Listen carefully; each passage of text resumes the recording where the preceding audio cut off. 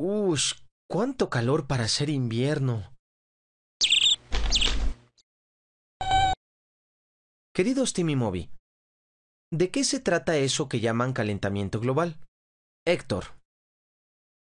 Bueno, calentamiento global significa que la Tierra se está calentando. En los últimos 100 años, la temperatura en la superficie de nuestro planeta ha subido cerca de medio grado centígrado, y la mayoría de los científicos piensan que se va a calentar todavía más en los próximos años. ¿A qué se debe que la temperatura suba? Una de las causas del calentamiento global es el aumento de gases invernadero como el dióxido de carbono en nuestra atmósfera. Estos gases atrapan el calor y provocan un calentamiento natural que se llama efecto invernadero. En el invernadero de mi mamá, la radiación del sol entra por los cristales y calienta el aire de adentro. Como el aire no tiene por dónde salirse, el ambiente se calienta y se llena de humedad, lo que es muy bueno para las plantas. En la Tierra pasa algo parecido. La radiación del Sol viaja a través de nuestra atmósfera y calienta la superficie de la Tierra. El exceso de gases invernadero en nuestra atmósfera hace que el calor se quede atrapado.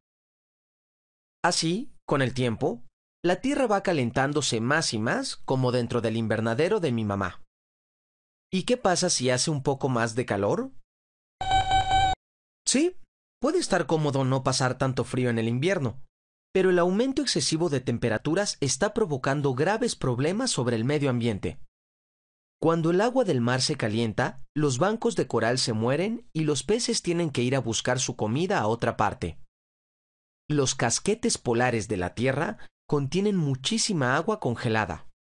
Una diferencia de unos cuantos grados en la temperatura puede hacer que se derrita ese hielo, lo que haría que los niveles del mar subieran y a su vez provocaría que las costas se inundaran.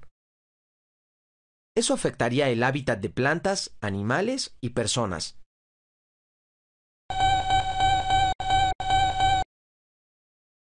Bueno, hay algunas cosas que podemos hacer para evitar la acumulación de gases invernadero en el aire.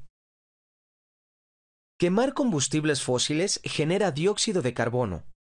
Así que mientras más camines o uses tu bicicleta en lugar de manejar, más limpio estará el aire. Y mientras menos electricidad uses, mejor. Los árboles y las plantas verdes absorben dióxido de carbono y producen oxígeno. Por eso plantar árboles y respetar los bosques es una buena manera de empezar. Amigo, este clima sí que está loco, ¿eh?